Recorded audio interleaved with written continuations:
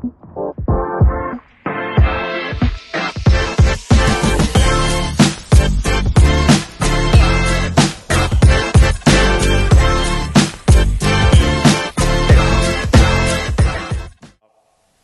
again, I said this and I want to review quickly.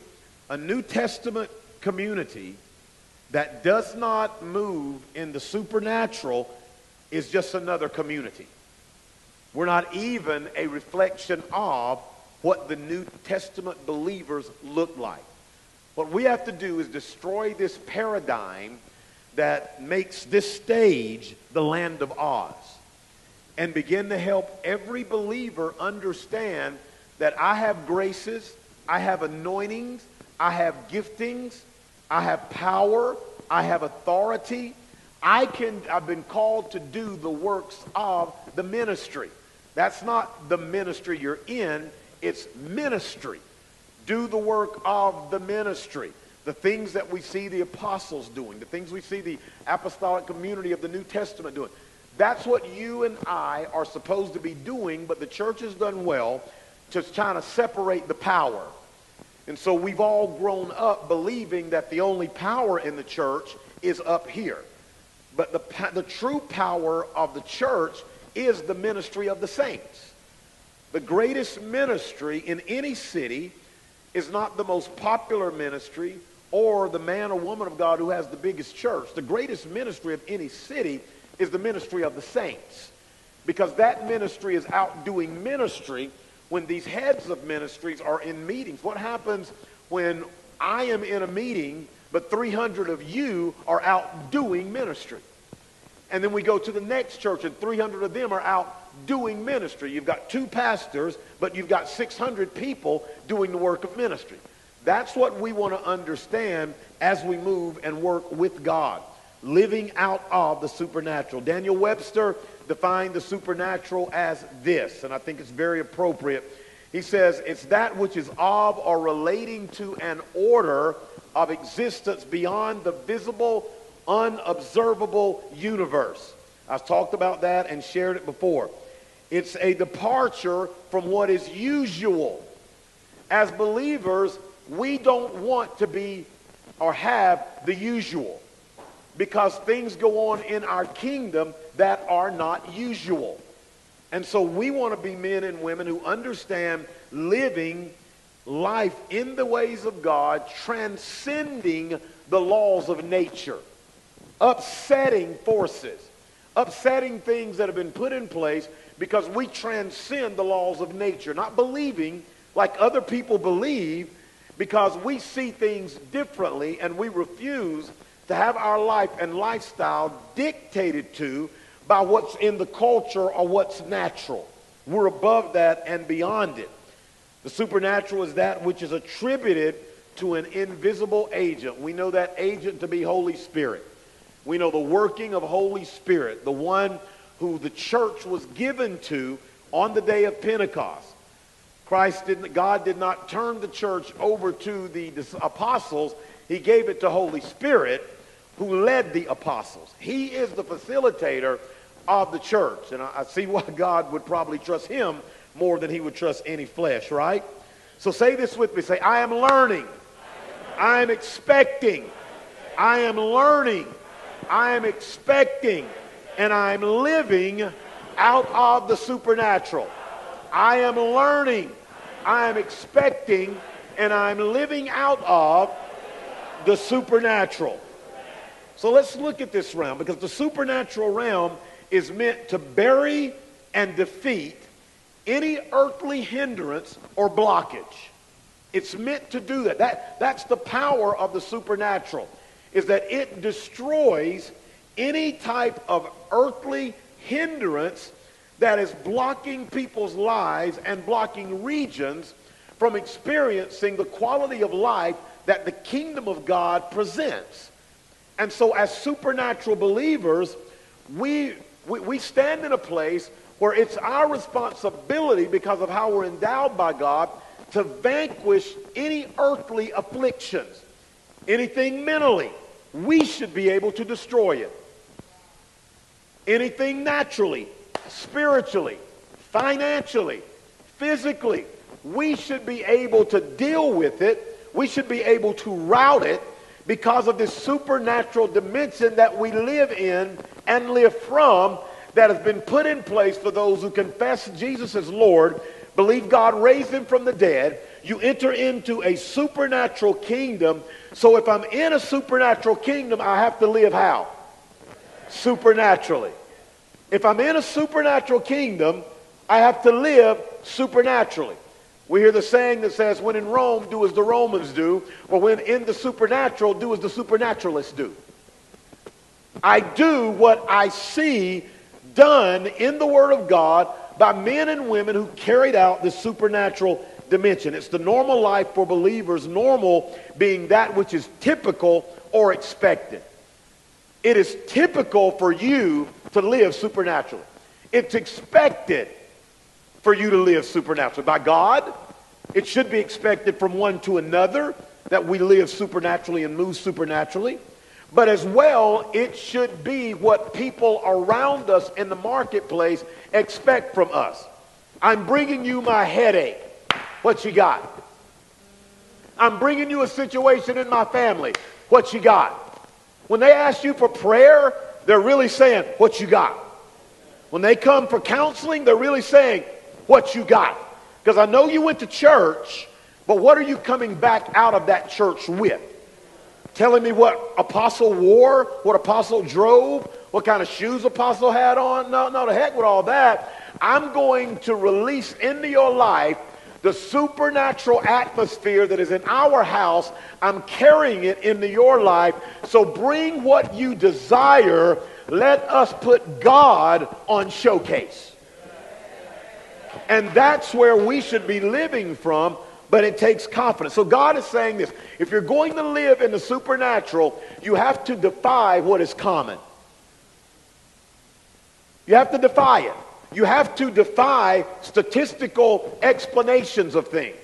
I don't care one out of how many got something, did something, became something. I'm bringing it into the supernatural.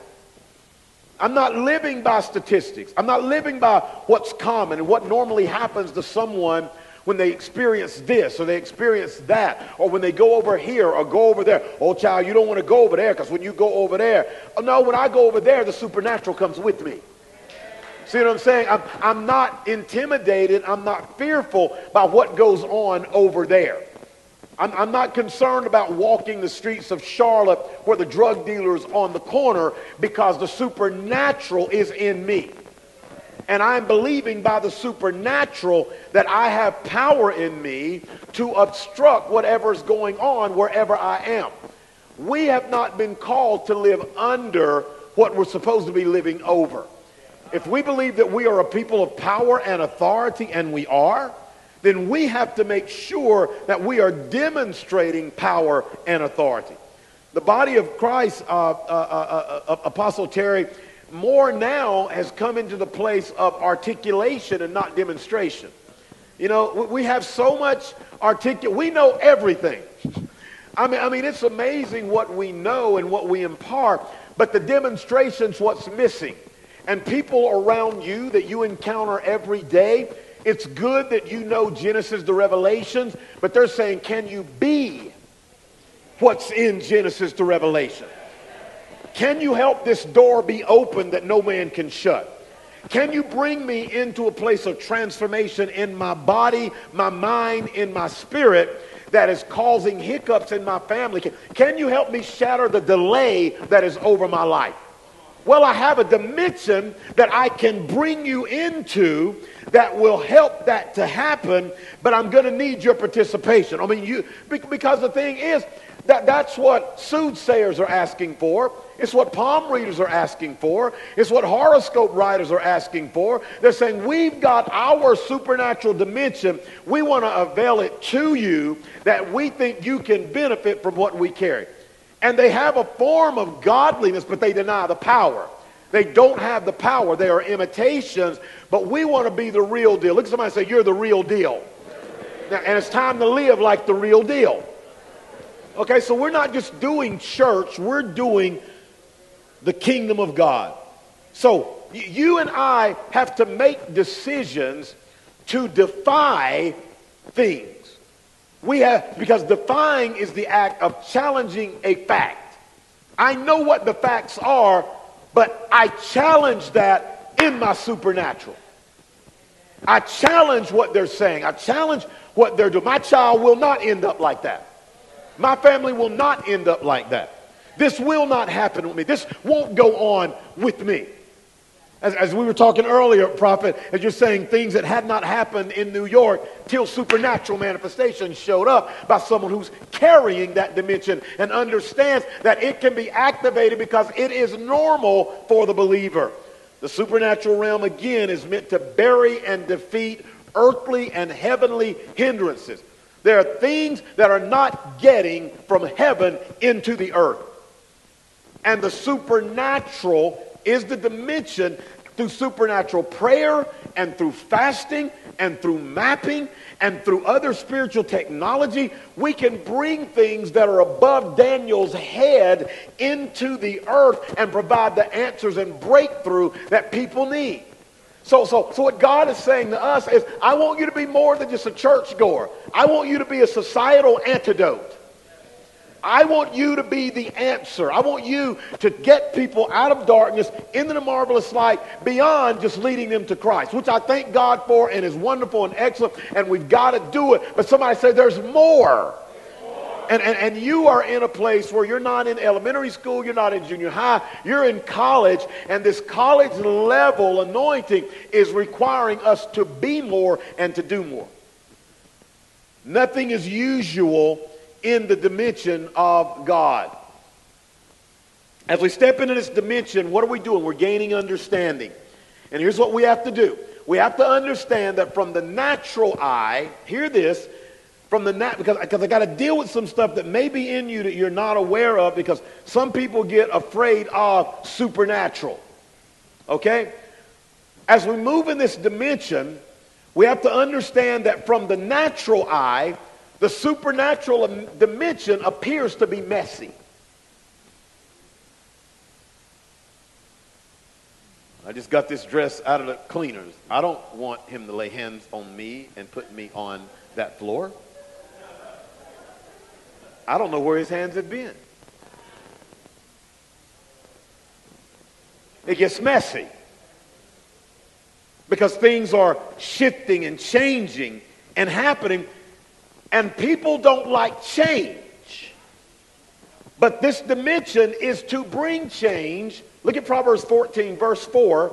And, and, and it's going to appear messy. A lot of people don't want to speak in tongues because they think something's going to happen.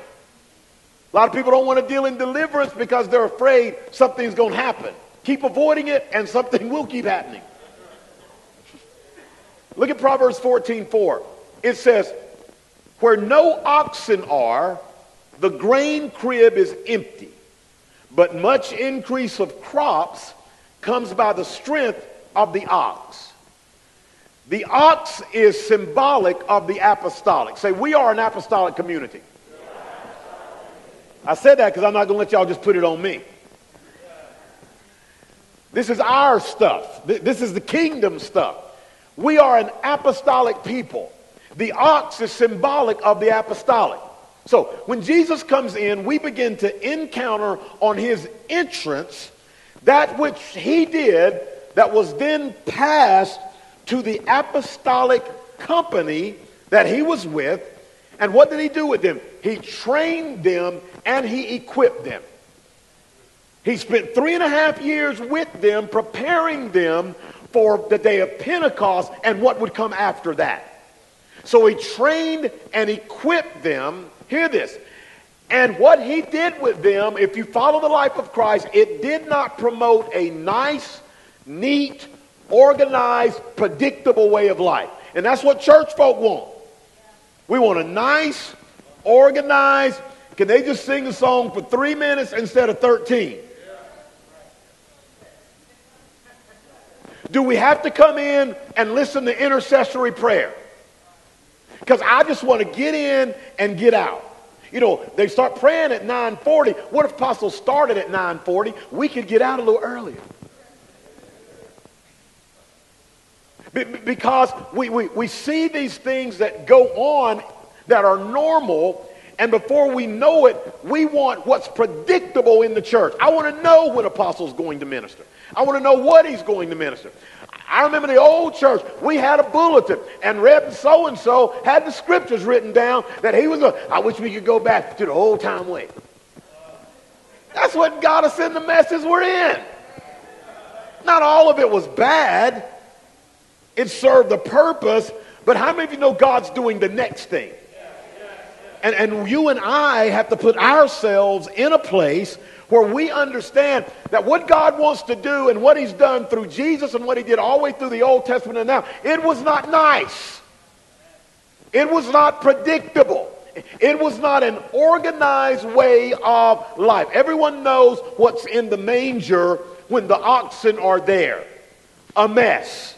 Put an ox in a manger, put an ox in an empty crib, and you will be amazed at what the ox will do to it in the crib, when the ox gets there, is a perceived mess. And that's the way a lot of people see the supernatural. Oh, you don't want to bring that into your church because that's just going to create a mess. We already got a mess.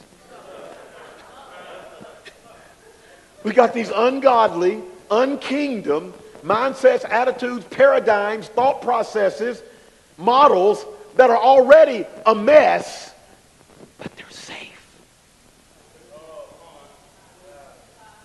It's contraceptive church where we conceive nothing because we are trying to have birth control. We don't want the spirit birthing because if that child comes in, we got to take care of it. And so what do we do? Let's just keep it as normal and let's just keep our 2.34 children not realizing that there is a, a, a group of people in this city who are yearning for supernatural ministry into their lives and yearning to be a place, a part of a place where God is demonstrating and moving in the supernatural. And yes, God does that here, but somebody said there's more. And with where God is taking us and where God has us right now, we've got to get into the more level where everybody is participating, experiencing, and distributing this level of demonstration. Who God is and what Christ did was all fueled by the supernatural. It was not just once in a while.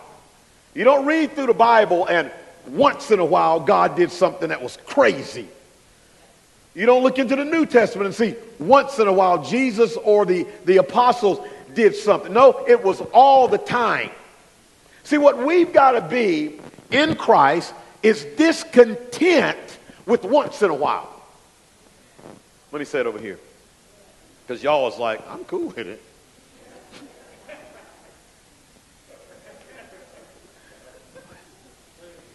Once in a while won't work, y'all. Why? Because something's going on all the time in people's lives and in environments that need supernatural now, and we just can't once in a while. But when you understand that this is the dimension I was born into, when Christ came into my life and, and, and, and Holy Spirit filled me and Christ baptized me into Him, I begin to understand this is how I'm supposed to live. This is what's supposed to really come out of my life that sets me apart from any other worker in my company, any other entrepreneur that I am dealing with, any other matters that are going on. Supernaturally, I have a way, not by power or might, but by the Spirit to deal with them. And it's not just once in a while. It was the dimension that the early church was birthed into, and then they carried it.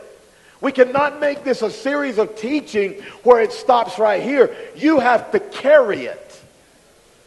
We have to get ourselves positioned and understand and learn, and we will, how to carry this, activate this dimension. See, when there's no awareness or thirst or demonstration of the supernatural, this is what churches do. And you, all y'all grew up in these churches. This is what they do.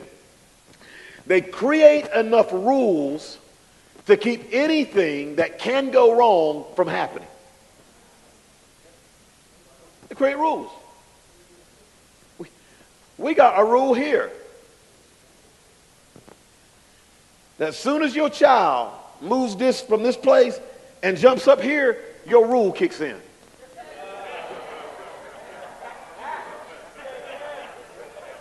It ain't in the church bylaws nowhere. It ain't on the wall nowhere. Ain't no sign, no nothing in an email that says, get them cheering off stage.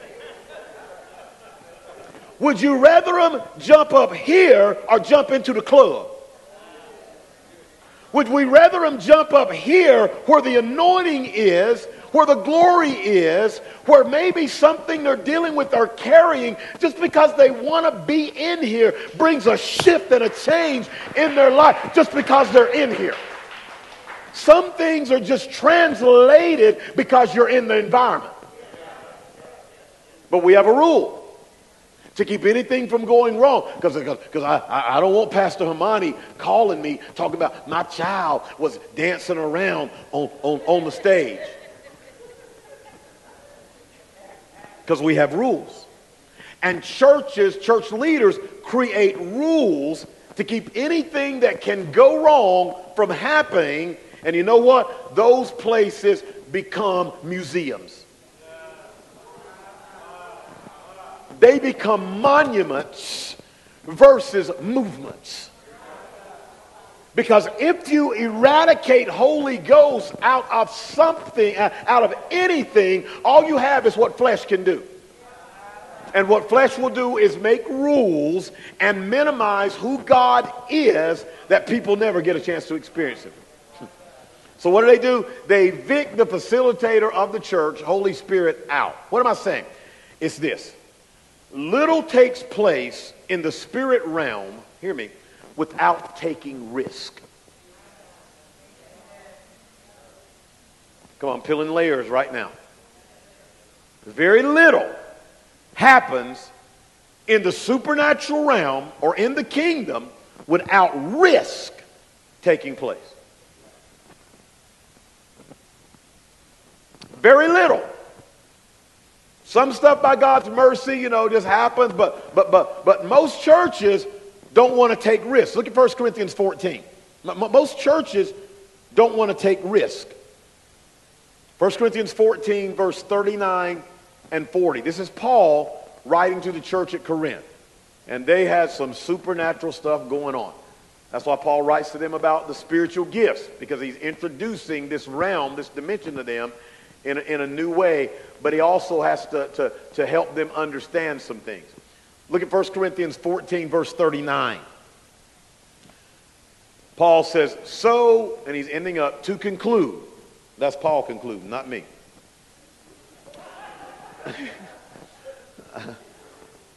so, to conclude, my brethren, look at what he says. Earnestly desire and set your hearts on prophesying being inspired to preach and teach and interpret God's will and purpose. And look at what he says. And do not forbid or hinder speaking in unknown tongues. Look at verse 40. He says, But all things should be done with regard to decency and propriety and in an orderly fashion. Verse 40, Paul says this. He says, all things should be done. Paul says, all things should be done. I like the way Kris Vallotton says it. He says this If you're going to set order, then something has to be going on. if you're going to set order, some ought to be jumping off that causes you to have to set order. If you're going to set order, then something has to be going on. Hear me. If nothing's going on, you don't need all things should be done. The expectancy of God is that something will be going on in our churches supernaturally. He started the church with a supernatural bang, Pentecost. And he doesn't have a problem with loudness, and he doesn't have a problem with things being soft. He doesn't have a problem with a bang. He doesn't have a problem with things being big and exploding. He has no problem with that. He started the church with something happening.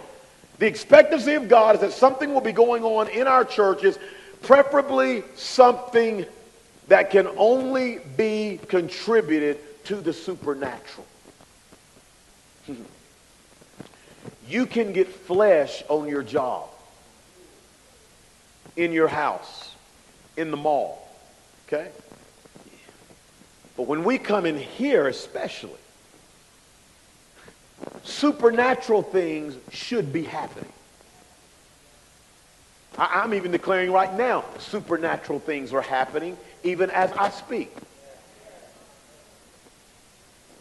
But when we come in here, God is expecting to have to respond because we're making a draw on the supernatural, not on our individual little problems. Because that's where we get so consumed. We get so consumed with our stuff that we discount that God's got bigger stuff and better stuff. We okay? So, what stops the church from stretching into the supernatural? Simple fear. So, so, so as, as, as, we're, as we're, we're learning in this dimension, as we're bringing it in so that we're not a once in a while church, but we are a this is who we are and this is what goes on in here church, understand the first thing that's going to grip people is fear. You want to get baptized in the Holy Ghost?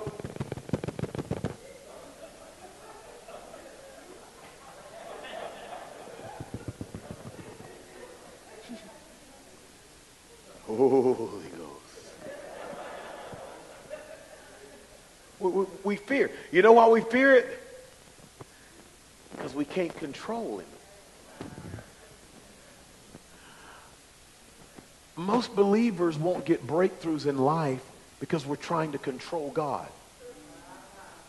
We're trying to tell, we, we say, Father God, your will be done. But do it like this. Thy kingdom come, thy will be done, like this.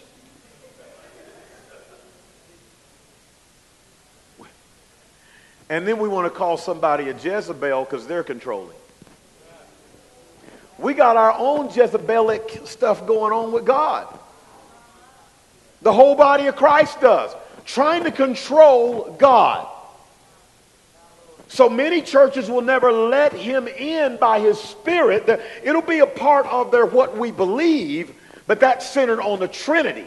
We believe in God the Father, God the Son, God the Holy Ghost, but you ain't gonna go further and say we believe in his activation. Because we don't want his activation. Why? Because that ox is going to mess up our nice little seats. And I paid for that seat. My money went into that carpet. Now we're going to have stuff on it. So we begin trying to control him. And you know what he does when he feels controlled? He's, he's, he's grieved and he's quenched. Hear me. What, what God's going to start doing is, is, is presenting supernatural opportunities to you. And hear this. You're not going to know what to do. But hear this. The person you're talking to don't know you don't know what to do.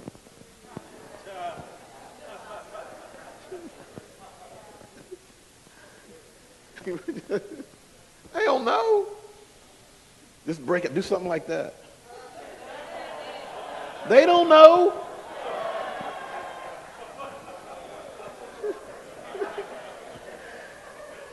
They're like, my God, she broke down into something and just did like that. And next thing I know, I was feeling better. They don't know. You're just trying to work the, the, the butterflies out. My God, the power that came out with. I don't know. Somebody say, just go ye therefore. If, if the Holy Spirit puts you there, he'll show you what to do. And, and he might have you spit in their eye.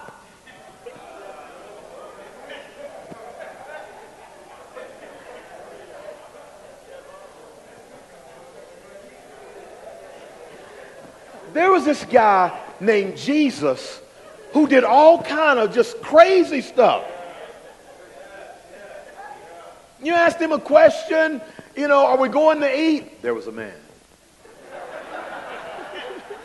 we will eat or not, man? There was a man. Because the supernatural's kicking in. There was a man. Supernatural changed your voice. How you doing?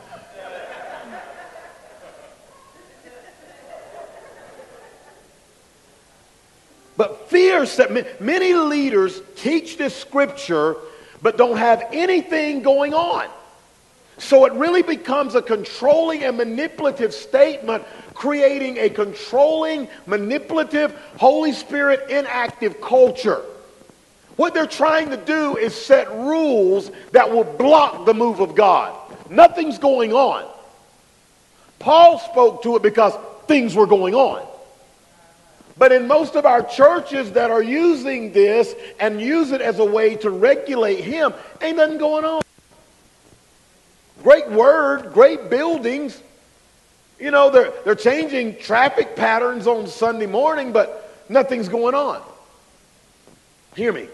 Fear will keep you from moving in the Spirit. Fear will keep you. From, I'm having a battle right now personally that I can't tell. No, I've got four battles right now. I can't, can't tell you about them right now. I've got four battles personally that fear is trying to grip me, but on the other side of them, I think are great opportunities to manifest the kingdom of God. I'm being honest. You have not a priest that has not been touched by your infirmity. I've been touched by fear. I'm touched by fear often. It knows my name. But I know that it's also false evidence that appears real. So I know it and it knows me, and now we're in the battle to see what how are you going to operate? You know, we're looking at a new building. Dude called me Friday. I said, I ain't answering that. Fear. The apostle has fear? Yeah. Phone rang. I saw it was him. I just started talking to nobody that was in the room with me. Picked it up. I'm in a meeting. I didn't do that, but I was like, I ain't answering. Because here it. I wasn't ready. I wasn't ready in the spirit to answer it, but I should have been. So then I called him back in my supernatural voice. Hi, this is Terrell. Sorry I missed you. Uh, you know, busy day, and I'm, uh, you know, but hey, let's, let's make sure we uh, get together Monday. got some got some meetings Friday and Saturday, and hey, look forward to talking to you. Because when the phone rang, I felt like I wasn't in control. So when I called back, I felt like now I'm in control. Well, God was wanting to do something right then. But I'm waiting till I feel like I want to move in the matter. Now, I've been decreeing, I've been declaring, I've been prophesying, I've been walking around the building, I've been shouting, I've been doing everything. And then here, here comes the showdown. I ain't getting that. You churching, praying, going through everything. Now you get to work, somebody got a headache. I do too.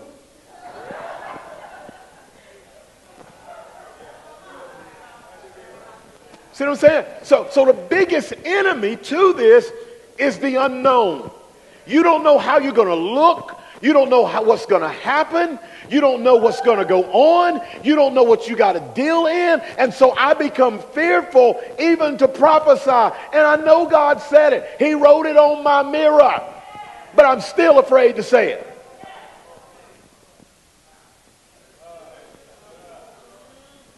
And then what does fear do? It masquerades as wisdom.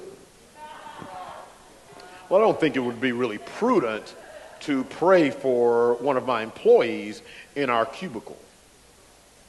They asked you in your cubicle. They came to your cubicle. You on my territory now. but, but, but wisdom would say, you know, I, I don't know how HR will receive this. So, so we, we, we begin to move in, in realities uh, uh, and, and, and mindsets that really aren't of God, but we make it of God. The truth is this underneath the mask, not your mask, underneath the mask is a believer who doesn't want to look bad. Soon as they came down this morning, what does the adversary say to me? Ain't nothing going to happen. You're going to look stupid. Ain't nothing going to change in their lives. And, that, and, and you have to understand if you're moving in the supernatural or you now begin to see that God is taking you into places where you've got to move in His power and in His authority and by His Spirit and with His words, you, you're going to find yourself having to wrestle against things that are going to speak and tell you, no need to do that, that won't work, they don't believe anyway. Who are you to lay hands on somebody? Who are you to say you've got a word of knowledge or, or the word of the Lord? Who are you to give that amount? Who do you think you are to do it? And, and, and, and we begin to move in these places because we don't want to look bad. Bill Johnson says this. He says, the Holy Spirit is imprisoned in the bodies of unbelieving believers. The Holy Spirit is imprisoned in the bodies of unbelieving uh, uh, uh believers. Faith removes fear. And faith requires risk. I want you to hear me. I want you to hear me. The only way you're going to remove fear is faith. But faith requires risk.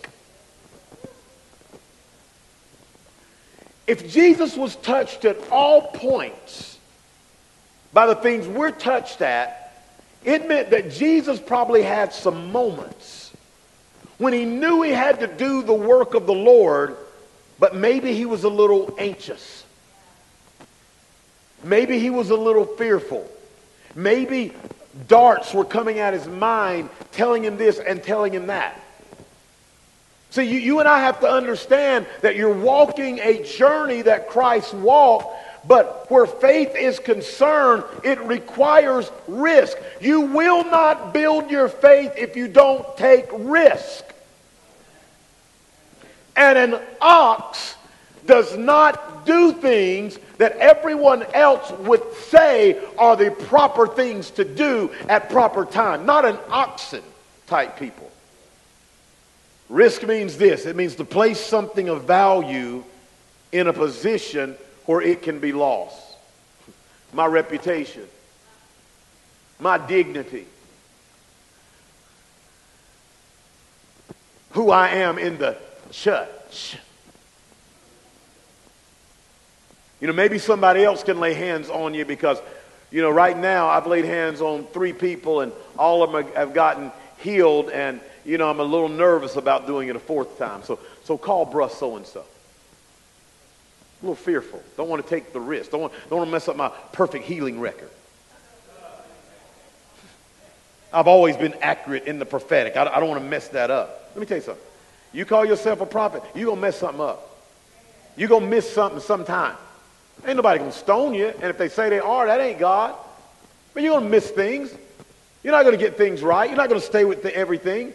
You, you, you're going to call something out in somebody, and, and that ain't what they're going, that they've got going on. And then they'll say, What's really going on? You'll say, Close. No, don't do that. don't do that.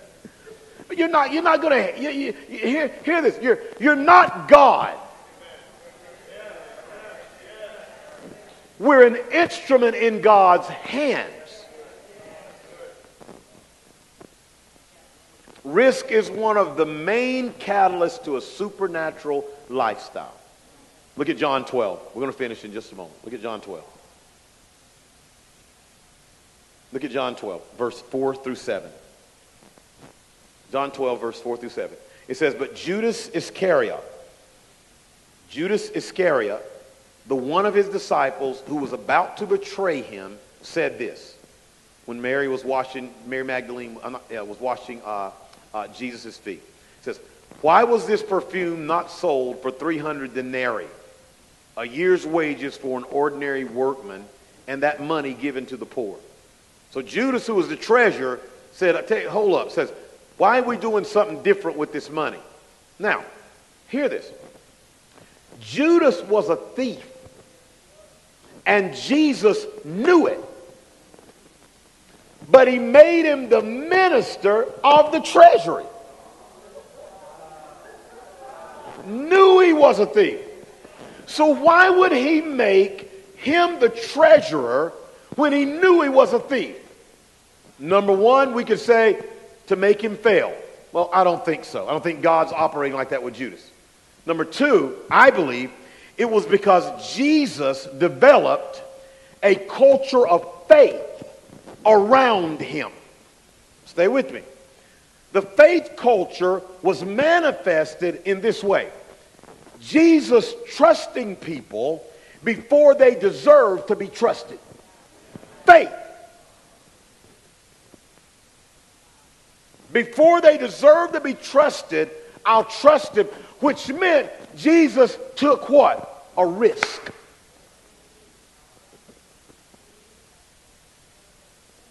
Jesus says, I'm going to take a risk on this dude. Hear this. All that Jesus did was risky. I want to be like Jesus. What would Jesus do? He'd take risk. See, we, we don't see Jesus as taking risk. We just see that everything he did worked out okay. But we don't understand that he was putting God's name on the line. He was putting heaven's name on the line. He was taking risk. Supernatural manifestations come from risk that we take. Nothing can be safe. Life for him wasn't a nice grain crib because the chief ox was always treading.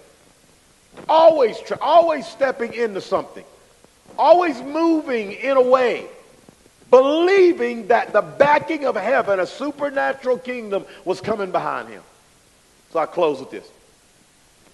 If we're going to be a catalyst for renewal and reformation and advancement in the kingdom of God, personally, corporately, and in the marketplace with people we know and don't know, guess what?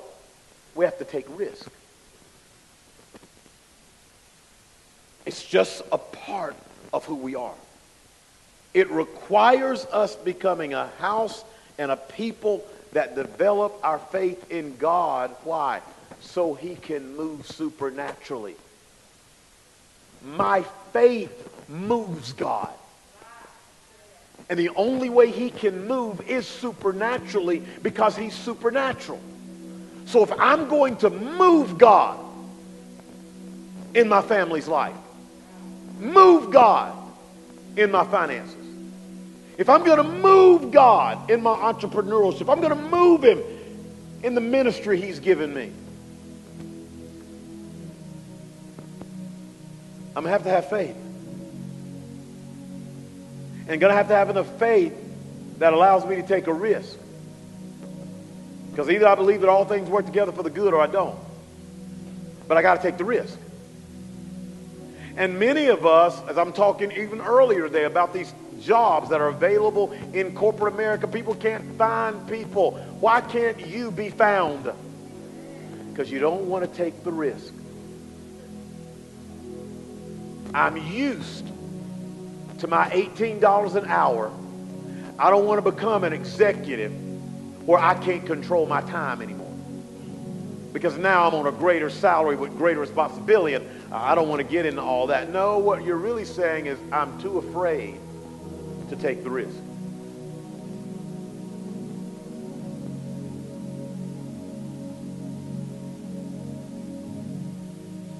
Ecclesiastes 11, 4 through 6 says this He who observes the wind and waits for all conditions to be favorable will not sow. And he who regards the clouds will not reap. As you know, what is the way of the wind or how the Spirit comes to the bones in the womb of a pregnant woman, even so you know not the work of God who does all. In the morning, sow your seed, and in the evening, without, withhold not your hands. For you know not which shall prosper, whether this or that, or whether both alike will be good. He who observes the wind, I know something needs to happen. But I will not take the risk. My husband is sick. My child is sick. I see an action that needs to be spoken to. I need to yield my life. I see the wind blowing, but I won't take the risk. Why? Because I'm regarding the clouds. I'm regarding the bad that could come out of it. And as long as I look to the bad to come out of my stepping into something by faith, I will not do it. I'll stay away from it. Why? Because I've already built a cloudy day. Well, what if this goes wrong? And what if this goes wrong? And what if this, what, but what if it goes right? Why do we side with darkness before we side with light? And disguise it as wisdom. No, it's a lack of faith that has me trusting what won't work before I trust what will work. So I'm afraid to move because I've given darkness more power than God. I've given my past and my history and things that haven't worked out because I've laid hands on someone they didn't get healed before. I will not do it again because of the cloud. Well, number one, I'm not doing the healing. I'm just showing up. God's doing the healing. When he wants to, how he wants to, where he wants to. It's just by his stripes we're healed. It's on God. He's just saying, Murphy, will you demonstrate faith? Will you take the risk?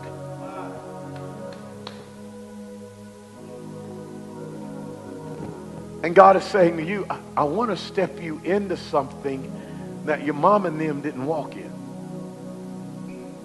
That a lot of your friends won't step into. That a lot of the body of Christ won't step into.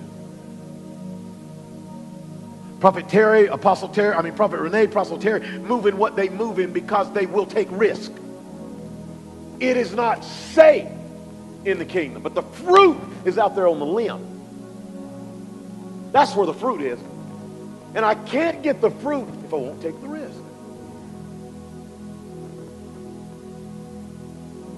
You know what's happening? The Lord tells me. In Bible stories we've been reading, now you're starting to see that Newcastle's bad, man. They, they was something else. They were walking into stuff, furnaces, lions' dens, king's courts, they was coming up against stuff that they didn't know how it was going, but they took the risk because they believed that there was a supernatural. Was that supernatural? No. A supernatural dimension was backing them. I believe God. I believe in the power of God. I believe nothing is too hard for God. I'm not talking about my mom and dad. They have limitations, elder. They've got limitations. God has no limitations. Ah!